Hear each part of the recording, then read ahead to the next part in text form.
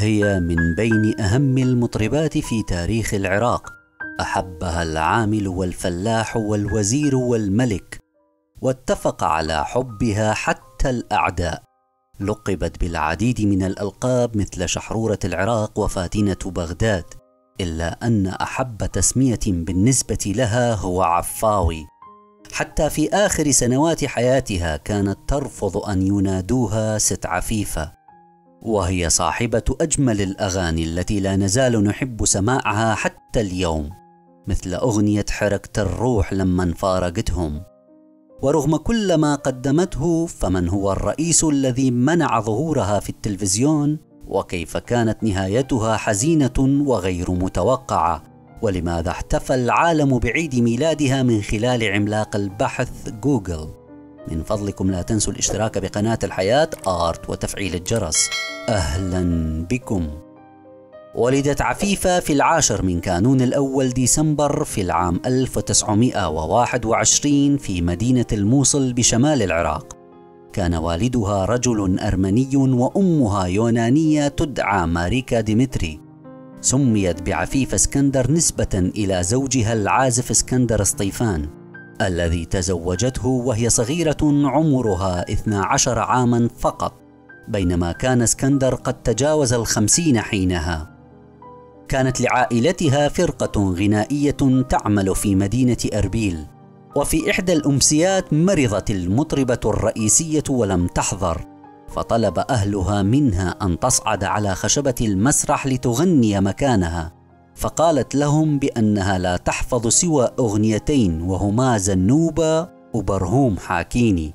فقالوا لها لا بأس اصعدي وغني وسنعطيك شكليته فكانت تلك أول مرة تغني فيها عفيفة مقابل بعض الحلويات وهي بعمر ثمان سنوات فقط.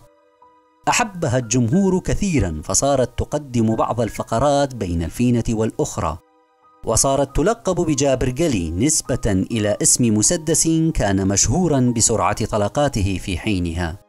فهي كانت مجرد طفلة تغني بشكل سريع ولم يكن قد نضج صوتها بعد. وفي لقاء مع الفنان سامي قفطان وكانت الراحلة قد تجاوزت الثمانون من عمرها قالت بأنها لا تزال تحن إلى أربيل وأيامها هناك. انتقلت إلى بغداد وكانت لا تزال صغيرة وتربت في بيئة فنية بين زوجها الموسيقي ووالدتها التي كانت تحيي الحفلات في ملهى ماجستيك بمنطقة الميدان في باب المعظم والذي أصبح اسمه فيما بعد ملهى الهلال. علما بأن الملاهي كانت في ذاك الزمان أشبه بالنوادي الاجتماعية ومكانا يسهر فيه علية القوم والشخصيات المهمة في البلد مع عوائلهم ولم يكن مكانا سيء السمعة كما أصبح بعد ذلك بعقود. كانت والدتها امرأة مثقفة تجيد التحدث بالعديد من اللغات وتعزف على أربع آلات. وساهم ذلك بنشوء عفاوي نشأة اجتماعية منفتحة على مختلف الثقافات والمجتمعات. كانت أمها المشجع الأكبر لها في الحياة وكلما كانت تراها تتعلم أشياء جديدة وتتطور في الموسيقى والغناء وتشتهر أكثر كانت تكرر على مسامعها جملة أصبحت بمثابة رفيقة درب لعفيفة طوال مسيرتها الفنية التي استمرت لعقود. إذ ظلت تسمع أمها وهي تقول لها الغرور هو مقبرة الفنان. بدأت انطلاقة عفيفة الحقيقية في العام 1935 عندما صارت تعمل في ملهى الجواهر الشهير الملهى الذي تخرج منه خيرة الفنانين في ذلك الزمن.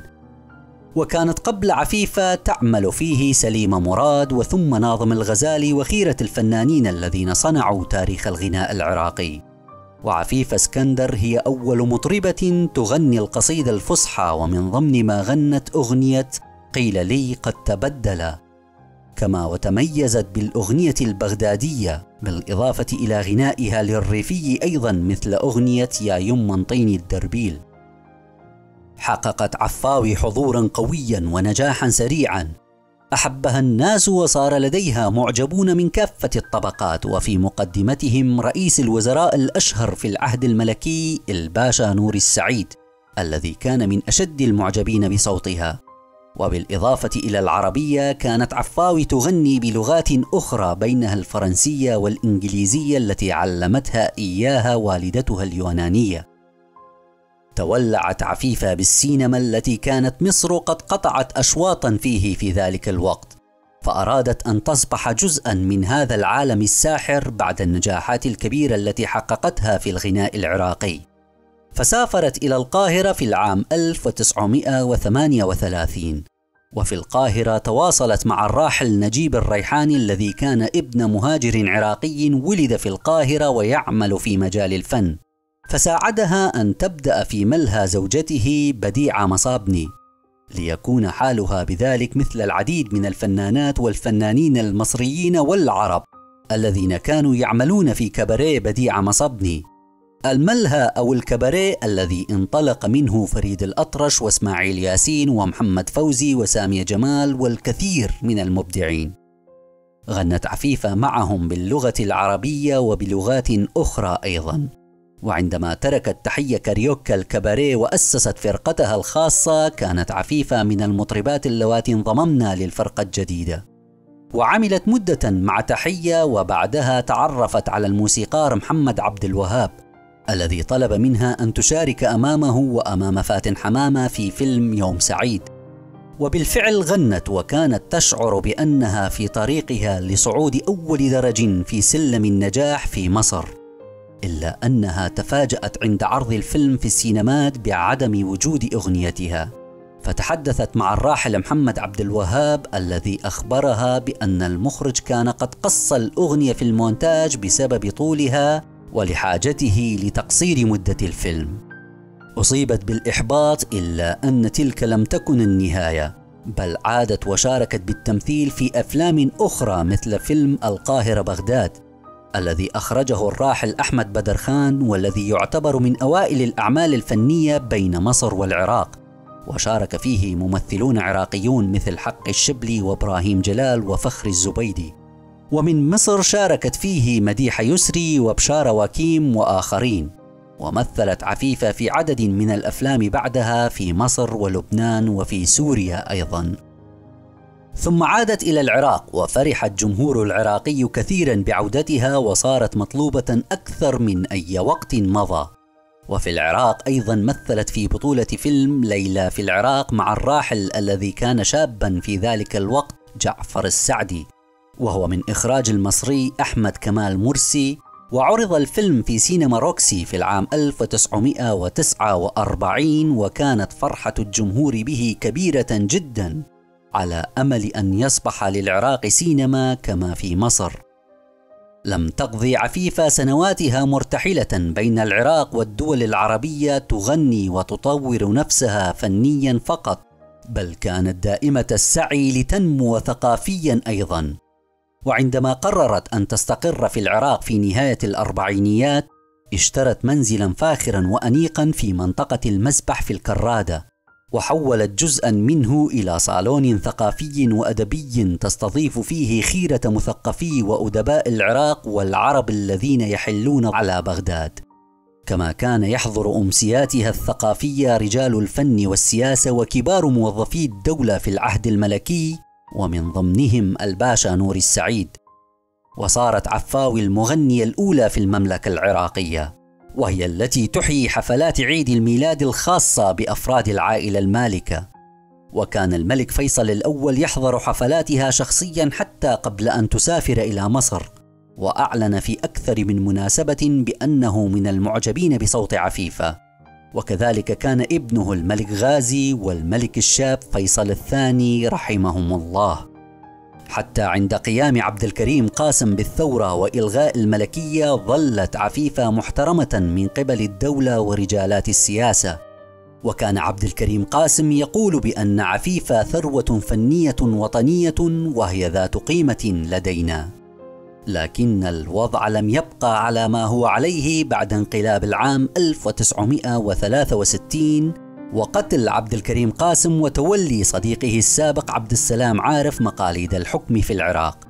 فصار عبد السلام يضيق الخناق على عفيف اسكندر من خلال تحجيم عرض أغانيها في التلفزيون والراديو حتى اختفت نهائيا.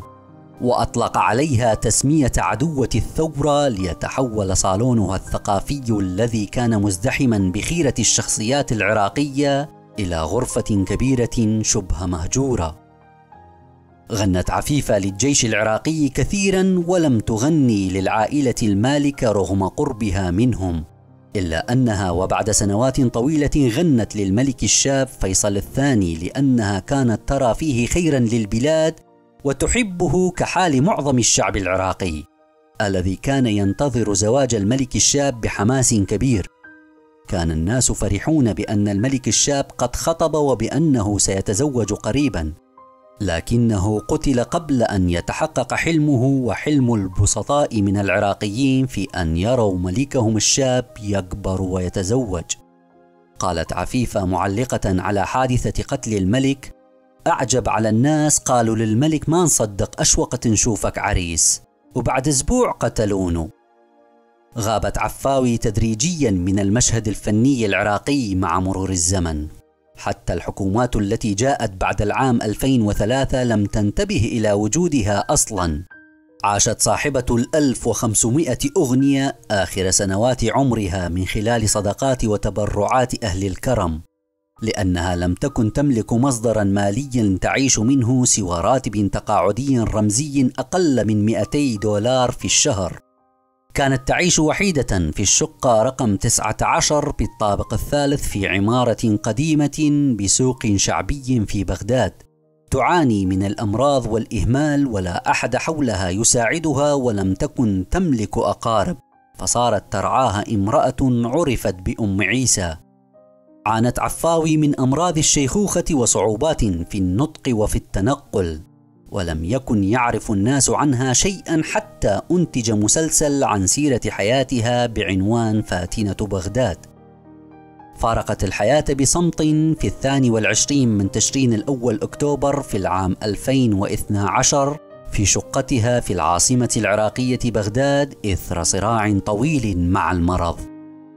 وبعد رحيلها بسبعة أعوام كرمتها شركة جوجل على طريقتها.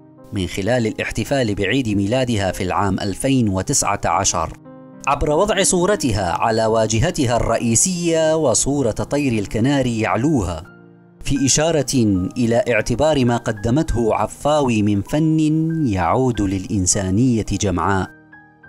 هل تؤيدون تدخل السياسة بالفن؟ شاركونا آراءكم ولا تنسوا الاشتراك بقناة الحياة آرت وتفعيل الجرس. شكرا على المشاهدة. دمتم طيبين.